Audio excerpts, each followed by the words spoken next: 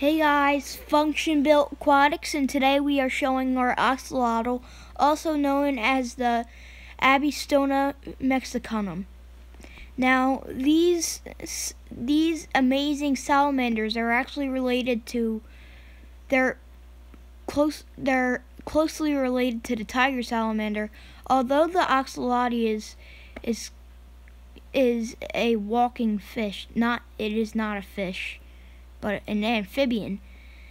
Technically, when when the when the tiger salamander is at is at its first stage when it breathes water, it's technically closely related to the to the axolotl because the axolotl does not breathe anything.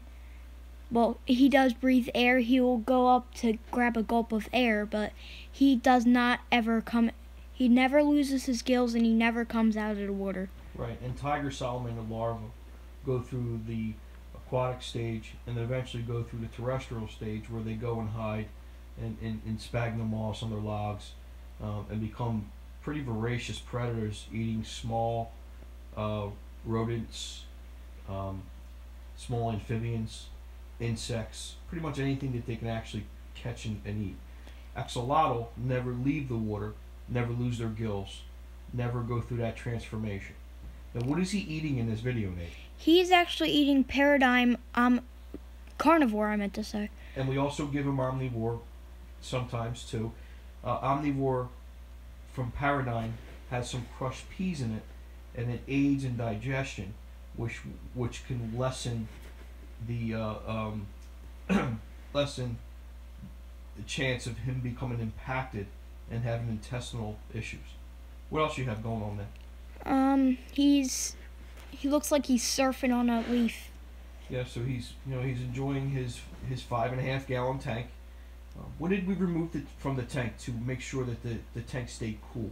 We moved the filter because the filter the filter's motor was actually heating up the tank up to 70 degrees so we scrapped that filter and put a sponge filter in there because they don't heat up at all and that and it keeps it keeps the tank at a perfect temperature of about 67 degrees, which they don't really like 70 degrees. 67 is the perfect temperature for them, and that's that's what we keep him at. Yeah, 70 is pretty much pretty much at the highest level for an axolotl to be comfortable.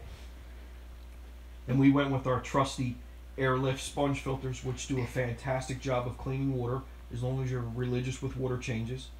Uh, there's nothing motorized or driven in them, as you know, so they do not raise the internal uh, water temperature since there's no motor in them. And, and, it, and it, it, so it suited two purposes and did the job perfectly. Um, so, what else do you know about axolotls, Nate? What did you learn about axolotls? Can they regenerate body parts? They can? Yes. That's actually amazing. I never knew that. Yeah, so axolotls have the ability to regenerate not only their, their tail, but also a limb.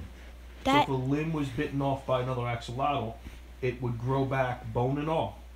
And that... it's been proven. Scientists are studying axolotls for the regeneration, regenerative pro- properties, and, Could... and trying to see how that can translate to to humans in surgery and, and maybe even growing particular body parts and checking and, and, testing their cells and find out what in their cells create that. Where they not only grow the limb back, but they grow the bone back too.